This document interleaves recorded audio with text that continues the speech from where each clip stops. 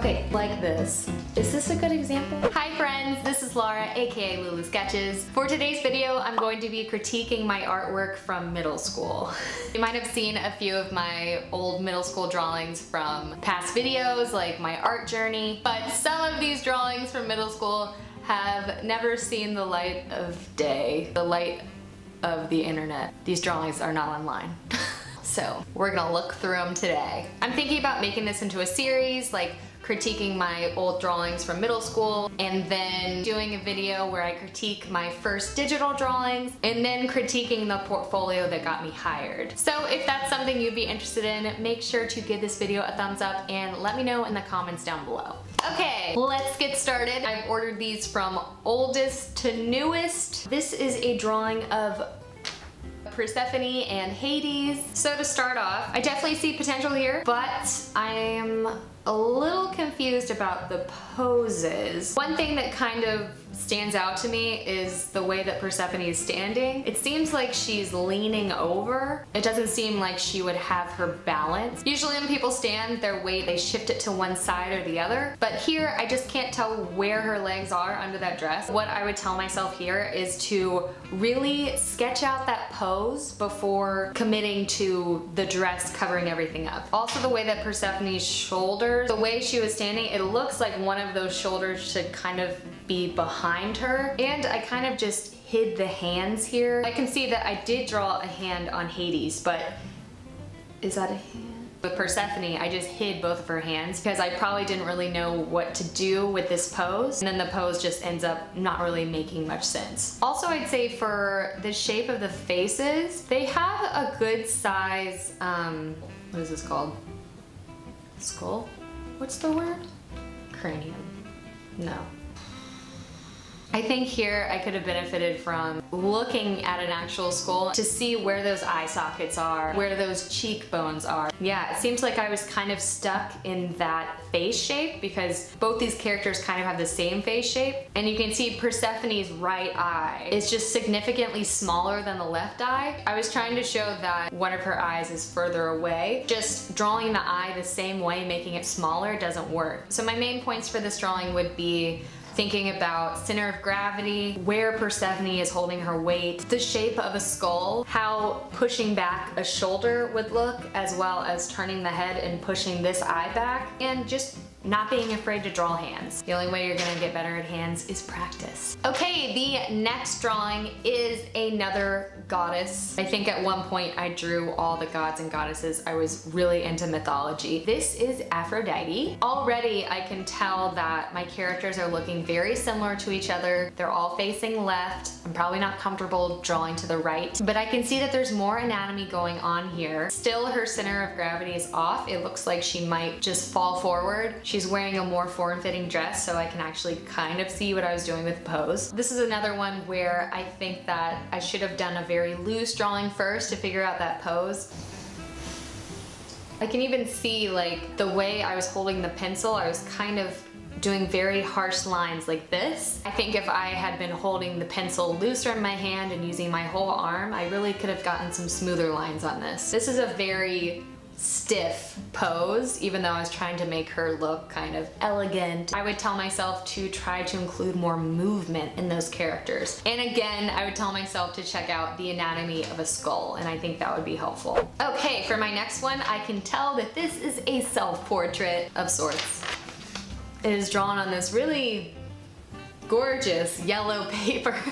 Most of these drawings were done on like whatever I had in my backpack at school, random notebooks, there's always lined paper, the back of worksheets. When I didn't have access to printer paper, worksheets were the next best thing. But for this one, I'm definitely seeing improvements here. You can see that I pushed one of the shoulders back, to kind of show the torso at an angle. This pose is pretty boring. I'd rather kind of see where that weight is because people usually don't stand comfortably with their weight perfectly distributed between their two legs. Also, I'm seeing improvements in the shape of the face. I kind of gave up drawing those sharp cheekbones, I guess, because this is much smoother. I still have some work to do with anatomy. If the shoulder is back like this, then your arm is not gonna look identical to the shoulder that's in front. The length of the thighs to the knee is looking pretty short, but still I'm definitely seeing some improvement in anatomy. Okay, next is a piece of fan art. This is Yuki from Fruits Basket. The same Yuki that I'm still drawing today. I was painting Yuki in my layer effects tutorial. If you haven't seen that video, I'll link it down below. And that finished piece is on my Instagram. So here is Yuki casually leaning back. Let's just imagine that there is a wall right here that he's leaning against because that would make this pose make more sense. So his legs are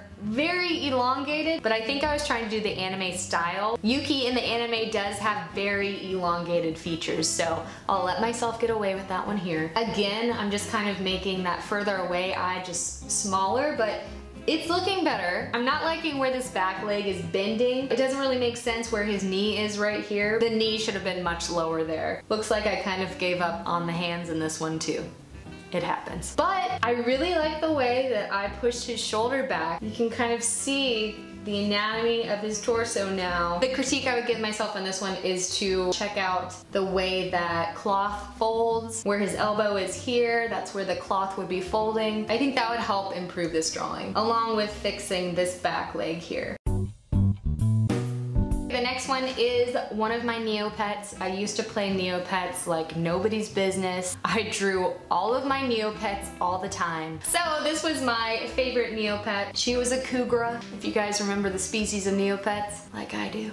I'm not sure about the neck in this one. I think her body type is less like a tiger, even though she has stripes and kind of more like a lioness. I really like how I have a big muscle at the top of her front leg, but uh, her chest here just seems pretty flat. I mean, the part where it comes out here is just extra fur, that's not actually muscle. The neck seems a little long and a little curved, and I kind of drew more of a human collarbone and very human eyes. So for this one, I think I tell myself to reference a lioness or a tiger if that's the direction I want to go in. I like this tail a lot. I really like that bend in it. I think that gives a lot of personality. However, I think the stripes on here look a little flat. See the stripes on her front arm here? That's supposed to have more bulk to it. These stripes would be curved curved around that object. I think curving those stripes and showing the form of her would really give her some more bulk. And she has a mohawk. That's pretty neat.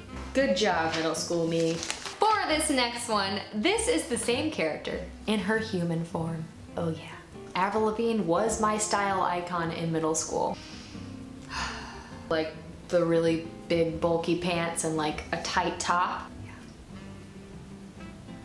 Yeah. Hmm.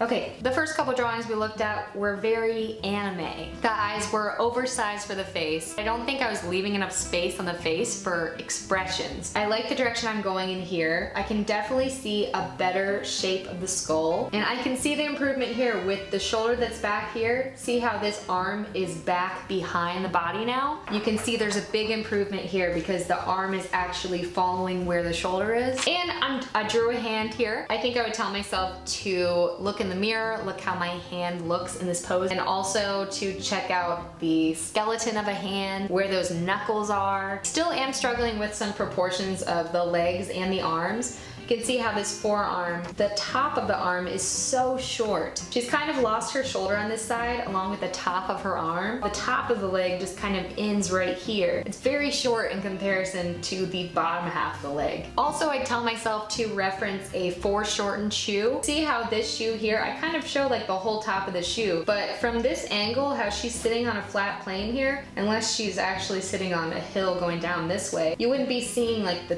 full top of her shoe like that.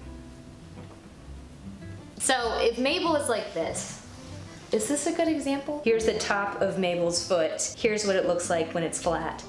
What are you doing with your leg? Why am I using my dog for this? Okay, I got a shoe. Unless she's on like some big slant, the shoe is gonna look more like this. So I would tell myself to reference a shoe from this angle to figure out how foreshortening works. Okay, and here is the last drawing we're going to critique today.